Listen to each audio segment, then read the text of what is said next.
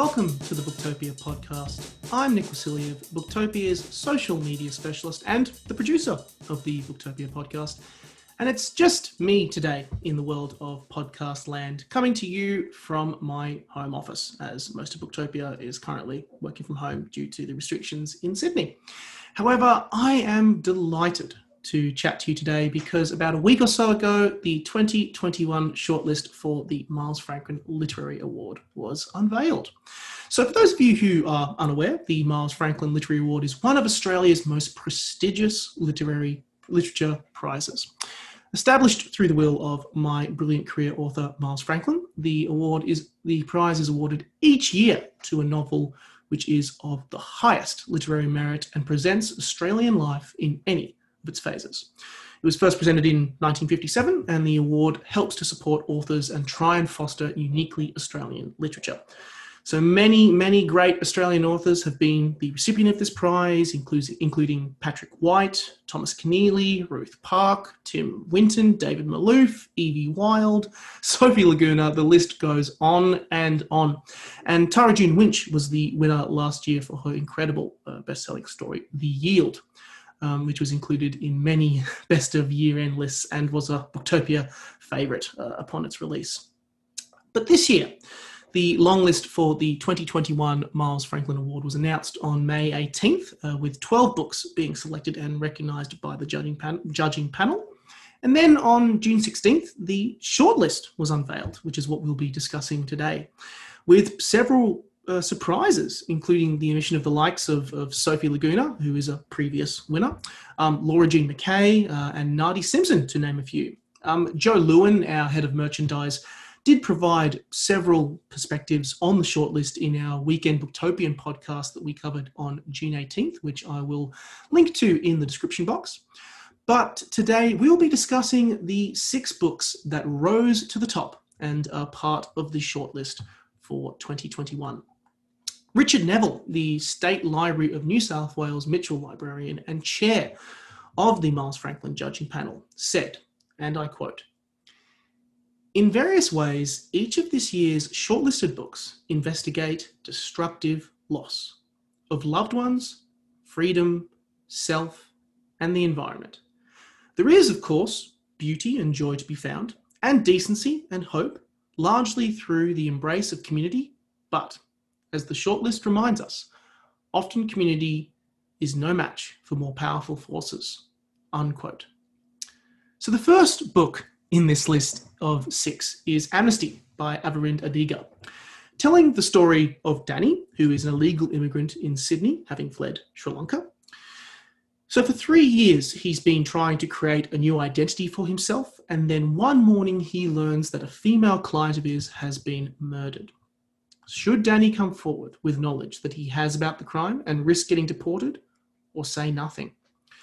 Over the course of a single day, he must wrestle with his conscience and decide if a person without rights still has responsibilities. Book two um, in this shortlist is The Rain Heron by Robbie Arnott, telling the story of Wren, who lives alone on a remote frontier of a country devastated by a coup. High on the forested slopes, she survives by hunting and trading, and forgetting. But when a young soldier, uh, when a young soldier rather, comes to the mountains in search of a local myth, Wren is inexorably drawn into an impossible mission. This is a novel that is equal parts horror and wonder. The Labyrinth by Amanda Lohrey is the third book to make this year's shortlist.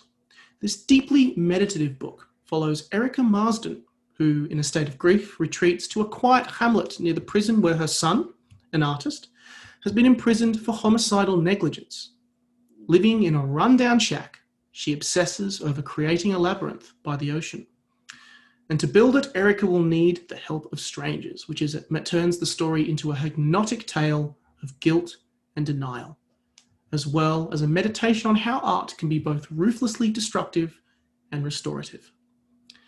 Book four in the shortlist was a book that many in the office paid particular attention to, which was Lucky's by Andrew Pippos. The book centers around the eponymous Lucky, a second generation Chicago born clarinet playing Greek man who finds himself in wartime Australia in the 1940s. escaping service by impersonating the King of Swing, Benny Goodman. Lucky comes into money through personal tragedy and uses it to run a successful franchise of cafe diners, spanning several decades. This book is an unforgettable, epic that lives about lives being bound together by the pursuit of love, family, and new beginnings. Book five in this shortlist is The Inland Sea by Madeleine Watts, which is her debut novel.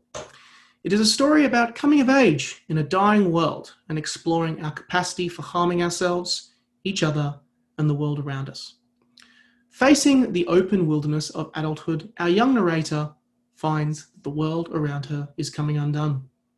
She works part time as an emergency dispatch operator, tracking the fires and floods that rage across Australia during an increasingly unstable year.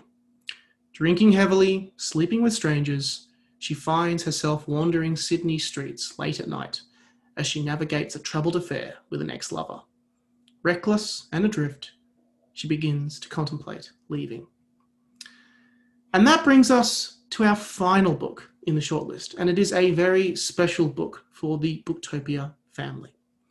At the Edge of the Solid World by Daniel Davis Wood is the title of this final shortlisted book, and it is distributed by Brio Books, who are part of Booktopia Group Limited.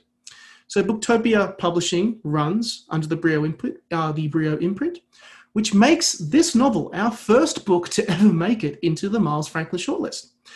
And I was delighted to be able to sit down with the author himself, Daniel Davis Wood, to discuss the book and what it was like to make the shortlist for such an incredible award. Transition. And through the magic of editing, I am delighted to welcome the author of At the Edge of the Solid World, all the way from the UK, Daniel Davis Wood. Good morning, Daniel. Thank you. Thank you. It's a pleasure. So, for all of our listeners who might not be familiar with your book, give us the spiel. Tell us a little bit about your book, At the Edge of the Solid World. Well, At the Edge of the Solid World begins um, with the relationship between a man and a woman who are expatriate Australians. They're living in Switzerland in the Alps. And um, they, uh, so they're husband and wife, and they have a child who dies after one day. Um, and this, the, the the big story of the of the novel, I guess, is that this sort of sends their marriage into crisis, um, particularly as they uh, disagree on um, how to deal with the aftermath, whether the child should be buried or cremated, where the ashes should be scattered, and this disagreement takes them back to Australia, which is much to the the narrator, his the husband, much to his um, his uh, uh, disappointment, shall we say? He's not he's not mm. particularly fond of that idea, and uh, so as he tries to navigate uh, his way out of this crisis, he he feels himself slipping into intense solitude and grief. He doesn't really know what to do, and he begins to look around for you know perhaps other people who've had a similar experience who can give him cues or serve as models of of, of how to deal with this. And one of those is uh, a father in Australia who also loses his child in a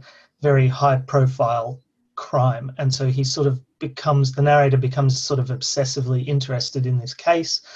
And it branches out, the novel branches out from there into many other um, stories of people in similar situations uh, and takes in a, a, very vast scope of, of, of loss and suffering and tries to measure the narrator's sense of loss against many other injustices, um, some historical, some contemporary, of, of different scales. Wow, it's it sounds very. It, it kind of starts small and just expands. This book, it's uh, it's really incredible. Yes, yeah, that was the idea. Yeah, it's uh, the narrator's story is sort of like the base note for something, and then it, and then it grows from there into a sort of, I, I guess, a, a harmony um, in a way where you have all these different voices coming in and, and sort of sounding the same mm. um, tune, I guess. It's funny you, you mentioned kind of how it, it, this is such an examination of, of loss and everything because you, you, talked about during the launch of the book, uh, the Zoom launch back when, where this book that this book was written during a really depressing time. Um, you know, you, you, mentioned how it was you were in that writing stage during the presidential election of 2016, and then you're in the UK when Brexit was happening. Was this? And I'm curious to know about where you were in terms of the mindset of this of this book, um, especially when compare, compared with your debut, um, Blood and Bone. How? And I'm assuming that that would have coloured the writing process how did it how did that actual writing process compare um, with your first book? And did was it really easy to fall into that examination of of loss that you talk about and discuss in this book? Compared to blood and bone? No. Uh, not at all. Blood and bone was something that i wrote uh, blood and bone is a very it's a short book. It's much shorter than this one. Mm. um, and it, and the the right and it, it, it's more compact as well. So it's it's really just one one story, maybe two stories that are that are very tightly um, bound together. And so perhaps unsurprisingly, the writing process for that was was intense. It was it was short bursts, very concentrated, and yeah, the book was sort of written you know through a process that, that kind of feels like what it, what it's like to read it i guess which is which is short and sharp and, and so on. This book uh, so in other words i wrote i wrote blood and bone in in i think it was about six months it took me to wow. get it to a polished draft. Um, this one took six years. Uh, so you can tell already it's quite different. I suppose there are um, there are a few different aspects to the to the to the context of it.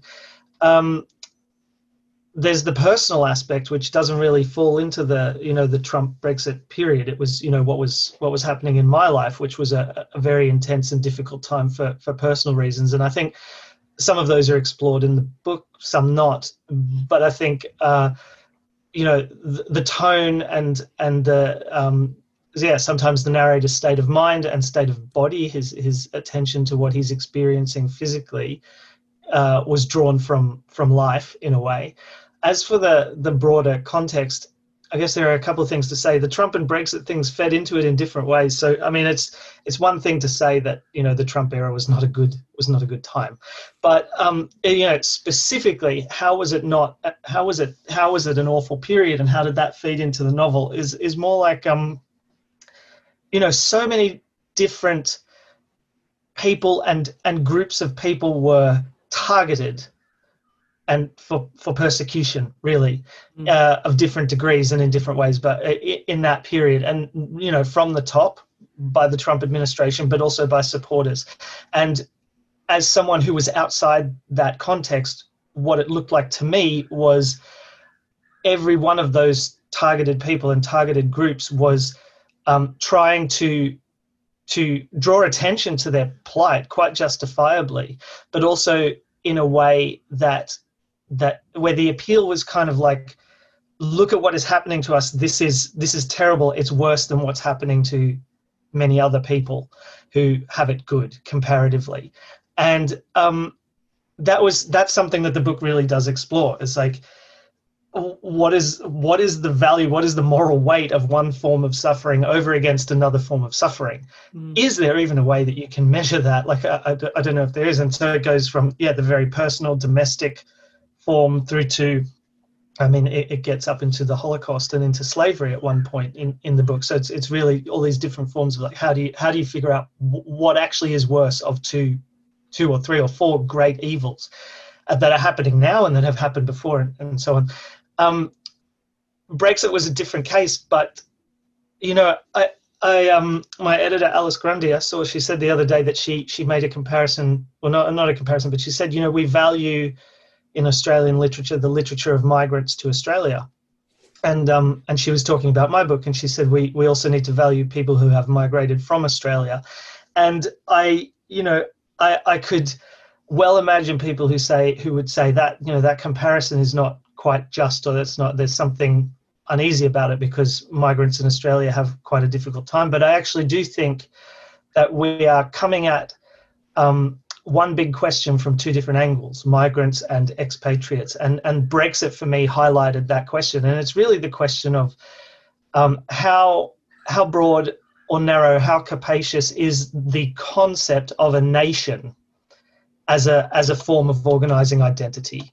Um, for migrants, like if you look at clearly Aravind Adiga's book um, on the shortlist, um, but also Amanda Lohrey's, um, there there are questions of like is uh, uh, or there's the idea that the Australian nation is too narrow a construct, you know, on the part of Australian citizens to accommodate people who have come into uh, the country. Um, that's that's kind of the migrant to Australia view, and the expatriate view is to say well, very much yes. So the nation as a construct is too narrow for everybody.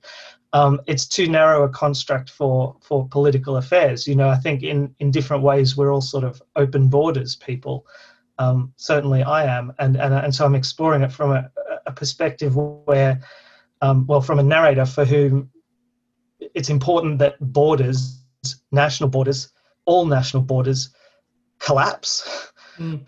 Um, it, it's too limiting to human capacities to have those mm. for him and for me too. It's yeah, it's and that, that's something that Brexit really threw up. is what I, is what I'm getting at. Ultimately, like that's that's the terrible thing that it showed us.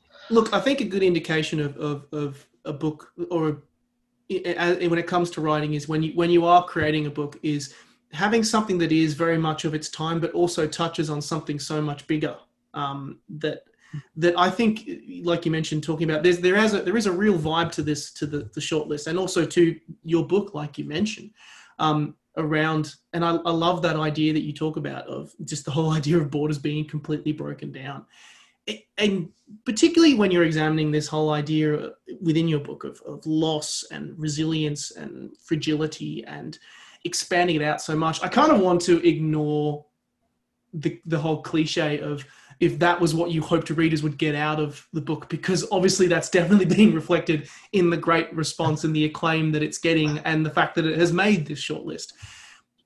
For you personally, I kind of really am curious. I, I kind of want to ask because obviously this is a real writing a book like this is a very you're, you're really journeying into stuff into yourself a lot, particularly for you because you, like you talk about mm-hmm. with expats this book touches on things that you um, have dealt with personally yeah.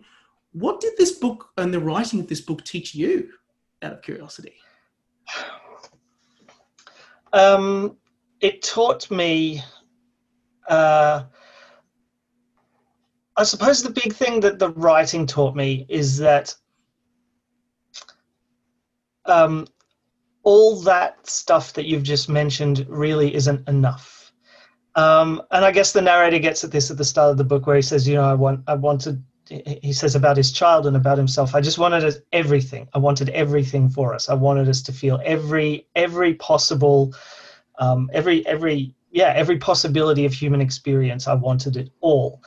And so as I was writing the book, writing the thing that, you know, the aspects of it that you mentioned, I felt, um, as your listeners who haven't read it might feel now, that it was unremittingly dark mm. and terrible and um, and all those things. And and so the writing of it really taught me that that's that's not enough. Like it it couldn't just be that. And so so I was kind of deliberate and conscious about trying to offset a lot of that stuff not necessarily with levity like there's not a lot of jokes in the book but with moments of grace and beauty and moments of of true wonder I hope what I hope comes across is true wonder and appreciation for um, just uh, you know unanticipated gifts that come sort of in everyday forms. So I think uh, that you know there are sections, there are passages in there about about the landscape of the Alps, about you know fireflies at night. Are passages about the falling of snowflakes. Um, I think the narrator at one point sees his, or at several points sees his daughter essentially as a ghost, uh, as a vision who who comes back to him. And I, as as heart wrenching as it is for him, I, and I hope it is heart wrenching. I also hope that it's something uh, wonderful for for him and for the reader, and and and and you know, I hope that sense of of awe that he could possibly be confronted by something supernatural and he's not sure about it i hope that really does come across so yeah that's that was the the process of writing it was as you as you say so intense and so so personal and and uh, I don't want to say distressing, but there it, wasn't. It was very discomforting in a lot of ways because it's hard Mm. to have the stamina yourself to write some of the things that are in the book, and so that, to to yeah to balance it out with these other things was was probably the greatest lesson that I learned as I was writing it. And maybe that's why it took six years. Well, I mean, when you are dealing with with topics like this, it's it's something that you you can't just uh, you can't just cover it in no time at all. It's something that is a, is so big and so expansive. Have you been surprised by the response that the book has received? Have you has it has it completely caught you off guard? Yeah, completely. Absolutely. I mean, I published the book in 2020, which, let's face it, was not a great year in the scheme of things um, uh, for anybody, I think, but let alone to publish a book. And uh, originally, it was. Uh, originally it was scheduled for something like March or April 2020, uh, right? Like right as the pandemic was coming, I think. And then my editor Alice at Brio said, "Yeah, I think we need to postpone this. Can we move it to July?" And at that point, it was still early enough where I was thinking, "All right, well, that's kind of okay." And I was looking at going to Australia in July anyway to promote the book. Of course, that didn't happen. Like we cancelled that, and then, but the you know, it came out at the end of the year, and the reason it came out at that point was kind of like you know, Alice said to me, "We need to get it out there. Like people need to see it. It needs it needs to happen." And I was just thinking, like, "Wow, we're gonna." This is a book that took six years to write, and it's like 500 pages. And I was hoping it would make a bit of a splash, and then it's going to be like dropping a stone into a bottomless well, and there's it's not going to leave a ripple. It's just going to sink, you know, and nobody's going to see it because it's Christmas time almost. It's not a Christmas book. I think we can safely say that.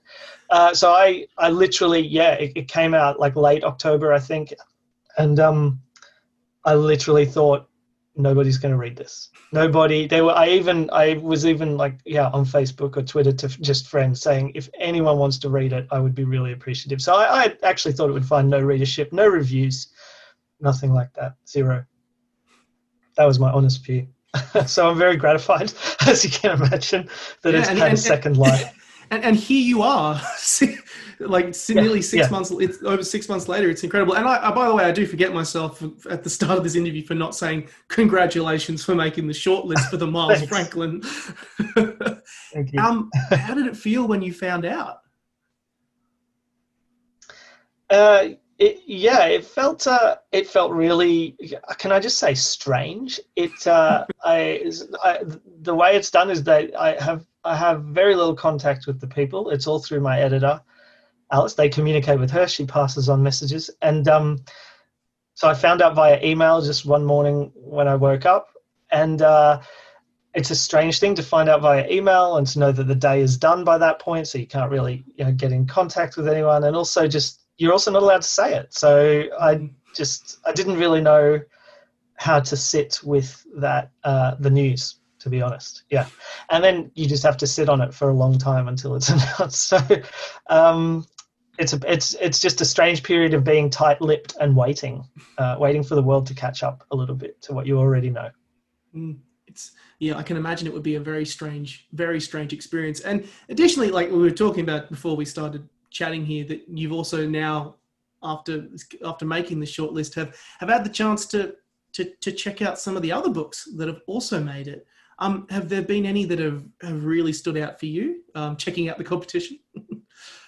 uh, that, for me, there are two real standouts, um, and I would have a hard time deciding between the two. And those are the Inland Sea and the Labyrinth. Mm. Uh, I am uh, for the labyrinth. I you know I'm a long time fan of Amanda Lohrey. Uh, I mean, long time. Like I you know have been reading her for more than a decade. Um, I don't think the labyrinth is as good as her best book, which in my view is still the Philosopher's Doll. But I do think uh, it's way up there with that, um, and Vertigo as well.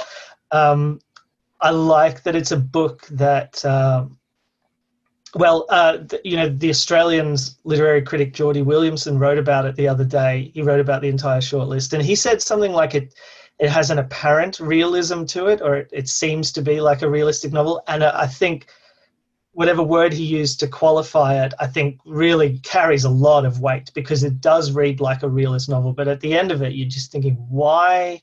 What is the relationship between all these parts that are not ever quite connected in a really strong way, but they clearly have like thematic and emotional and psychological connections. There's just so much for the reader to have to just just carry and and work out um, to to figure out w- w- what this book is trying to do, which I really love. It's like it's a bit of a puzzle, but in a very gentle way.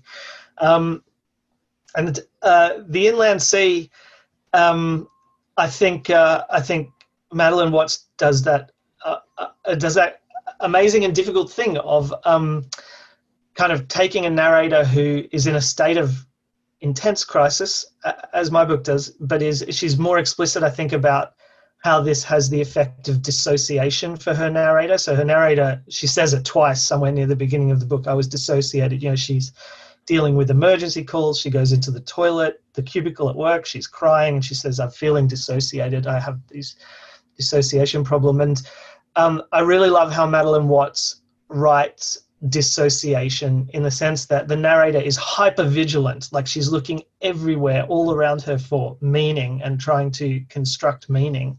But because she's in this dissociative state, the reader is is kind of always aware that the meanings she's constructing are not necessarily logical or legitimate or that she's you know the the story she's telling is always very suspect by her own admission because she's not in a great state of mind but she seems to think that it is and that it's coherent and so you're always kind of looking at how she connects the dots between different things in her life but you're also thinking yeah but that's that's probably not the dots to be connecting right now you know it's it's, it's like a double narrative in a way which i think is very skillfully done Mm.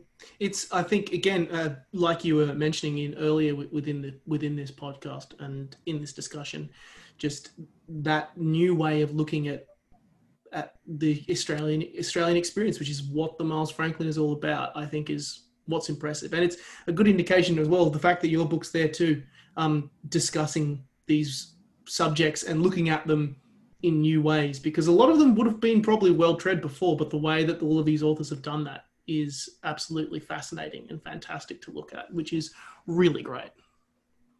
I'm glad to hear you say that. I think I think that's probably the big takeaway from the short list mm. as well is that there are there is you know kind of some old ground that that people are going over, but it is from really different perspectives, and I think from six well six very different perspectives that are different from each other. Like there are no two books on here that are that are quite similar in my view. Like, yeah. it's it's a really varied and therefore exciting shortlist. I agree. I agree. Um, I could talk to you all day about this, but um, I know that we uh, have a very limited amount of time um, with our podcast. But I want to say um, thanks so much for for taking the time to chat to us about it. And once again, congratulations to you and the and the team at Brio for for making it to the Miles Franklin shortlist. It's it's I think it's a wonderful achievement, and the fact that you've been able to do that with your second book is is fantastic. Um, and congratulations and all the best for for what happens next. Thank you. It's an honor and it has been a pleasure. So, for all of our listeners, uh, you can check out our thoughts of the Miles Franklin now on the blog, um, curated by Olivia Frico. Um, and additionally, as well, check out Joe Lewin, our head of merchandiser's thoughts on the Miles Franklin Shortlist Award, or the Miles Franklin Shortlist rather, on our Weekend Booktopian podcast from June 18th, which I have mentioned uh, will be linked in the description box for this podcast. So, the Miles Franklin Prize is managed by Perpetual and presented in association with the Copyright Agency, and the winner of the shortlist will receive $60,000 in prize money, with each of the shortlisted authors who have been mentioned in this podcast receiving $5,000 in prize money. Keep an eye out for the announcement of the prize, which will be unveiled on July 15th of this year. That brings us to the end of this podcast. I'd like to thank Daniel for coming on and discussing his book, At the Edge of the Solid World. It was an absolute pleasure chatting to him. Um, and for all of our listeners, be sure to check out Dan, uh, Daniel's book as well as all the other books in the shortlist um, through links in the description box down below. Thank you all so much for listening and never stop reading.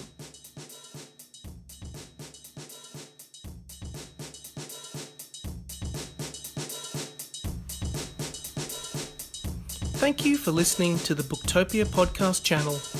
Don't forget, you can subscribe to us on SoundCloud and iTunes for free and get access to hundreds of author discussions, book analysis pieces, and more.